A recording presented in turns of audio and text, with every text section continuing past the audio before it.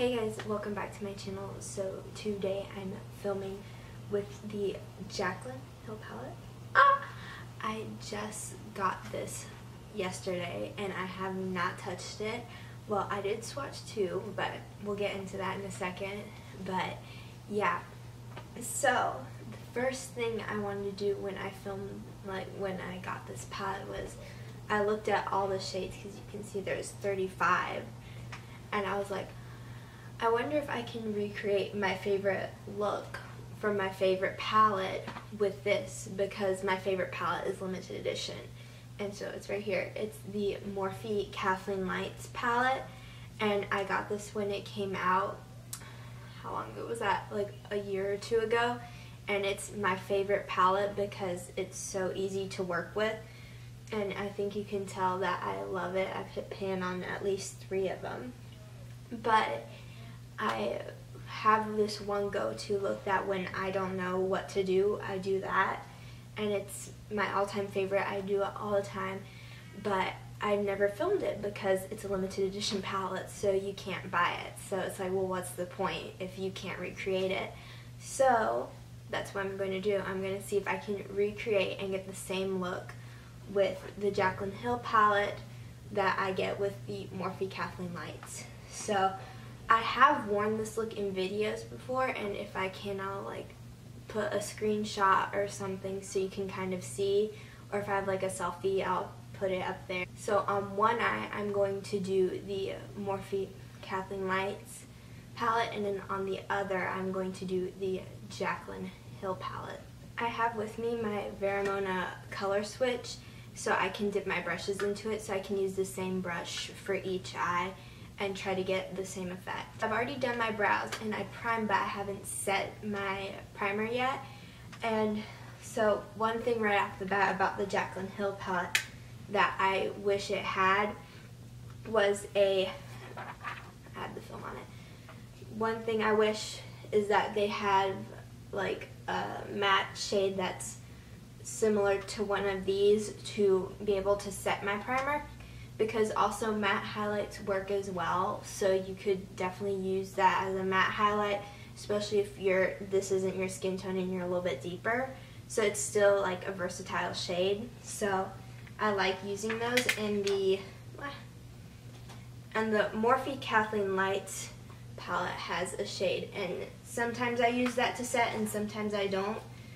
But just so we can get the same effect with each eye, I'm going to go into my Sonia Kashuk Eye on Neutral palette and set with one of those shades. So normally the first thing I do when I start off this look is after setting my primer obviously is I go into this shade in the palette. I believe it does have a name like if it's a standard Morphe shade. I'm going to swatch it on here. So I'll zoom in in a second so you can see it better. But I'm going to try to see if there's a shade similar to this in the Jaclyn Hill palette. And I'll be right back. So here are some swatches. And the one right dead center right there is the one from the Kathleen Lights palette. And then the one, this one right here is, I believe, the shade Butter, if I'm reading this correctly. Wow, it's not in focus. And then the one right here is MFEO, MFEO, I don't know. And then this one up here is Silk Cream. So I don't know if on camera they look the same, but they are all so different. Well, not completely. These are similar. This one pulls off more red, I think. So I think I'll try to mix a couple of the Jaclyn Hill shades to get the Morphe Kathleen Lights one. So here we go. On a clean brush, I'm dipping into that shade from the Morphe and Kathleen Lights palette. And I'm just tapping off some excess and I'm going to put the Kathleen Lights palette on this eye right here. Maybe I should zoom you in a little bit more so you can get a better view.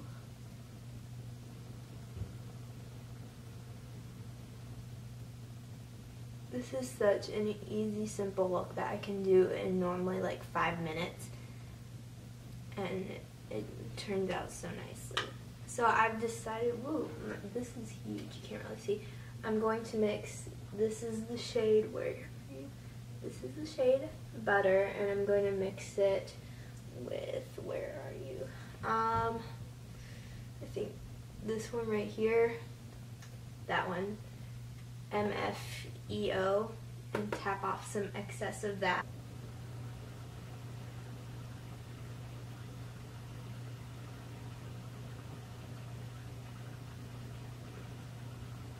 So this side, I don't know if I had more shadow on the brush than this side. So I'm going to tap in again and try to build it up. And I'm not, this doesn't prove that like Morphe Kathleen Lights was more pigmented and whatnot and stuff like that. It's, I've never used the Jaclyn Hill pot before so I don't know how to properly use it yet. I'm still kind of working on playing around with it. And I think that I've built up the color enough to be the same like consistency or like saturation. I don't know. This side looks maybe a little more like an orangey brown and this one looks more reddish.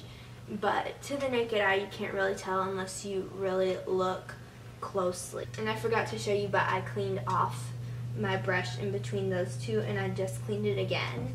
And now I'm going into this shade right here in the Morphe Kathleen Lights palette. If it focuses, this is this is the Morphe Kathleen Lights shade and this is Pukey from the Jaclyn Hill palette. So this one to me pulls more yellow and I can I feel like on camera you can see as well and this one pulls a little bit more red. This is has like a little yellowy orange to it so I feel like mixing the two shades it might get to be the Kathleen Lights color that I want, so we're going to do that. Before we mix those two, I'm going into the shade from the Kathleen Lights palette, tapping off excess.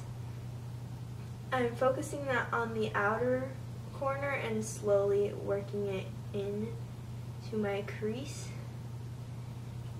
I'm not really worried about the mats and seeing if I can recreate the same look. What I'm worried about is the shimmer shade because there's only one gold shade in the Jaclyn Hill palette, which is kind of sad, but I don't, I don't think she's a gold person. But yeah, so we're going to see how that goes because I really love the gold in the Kathleen Lights palette. Now I'm going to mix Pukey and a little bit of Creamsicle to get like a little more of a yellowy orange instead of a red.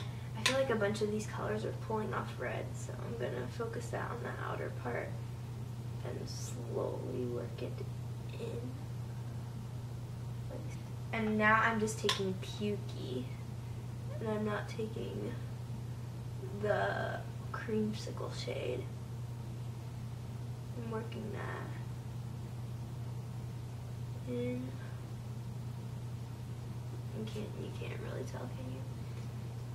So, I'm looking at my eyes and they look pretty similar. I feel like this has a little bit more brown, so I'm going to try to find a brown. That now I'm going to take the shade Silky Creamer right here, and I'm going to try to see if that helps make it a little bit more brown. We'll see how that goes. Here it is right here, and I'll have like the name on the screen or something. So here's a bunch of swatches, and they kind of went a little wonky, but that shade right up here is from the Kathleen Lights, and it's a little bit more pinky. And then this is the Jaclyn Hill one, and this is more of like a warm tone gold. And what's the name of that shade? It's Queen. So this next part, I'm going to use two different brushes, but you'll kind of understand why. So what I'm going to do is take this little spray bottle and it has water in it and I'm going to spray this brush because the pigmentation on this shade in the Kathleen Lights palette is not that great. I get I, it gets a little I like it better as a wet shadow. So I took that on my brush and I'm going to apply that to my lid like so. And then I'm going to take Queen right here. That gold shade from earlier. And then I'm going to take the shade Obsessed to give it that little pinky look to it. And I'm going to put that on my lid. So we'll see how this goes. I feel like I'm getting a little bit more of Obsessed on my brush than Queen. But that's fine. So now what I'm going to do is, it's actually kind of funny how similar these look, but this one's wet and this one's dry, so that just kind of proves my point. But I'm going to take Queen again, and I'm not going to put Obsessed on, and layer that on top. And now I'm just going to take that fluffy brush from earlier and kind of blend out, make sure there's no harsh lines. So I'm going to get up close so you can see uh, the difference. This one is Morphe Kathleen Lights and this one's Jaclyn Hill. So yeah, I was right about the shimmer shade. It doesn't really match up that well, but overall I'm really impressed so far with the palette. I think it's really nice and I'm going to finish my makeup and share my final thoughts with you in a sec. So now that I have my makeup on, you can, I don't know if it's on camera if it looks different, but in person they look virtually the same except, you know, if you're, you pay a lot of attention to detail, you would notice that the gold on one shadow is like a bit off from the other and that, you know, one might looks like a different tone. But from far away or if some if you don't have people getting like this close to your face, it looks virtually the same, which I'm really excited about.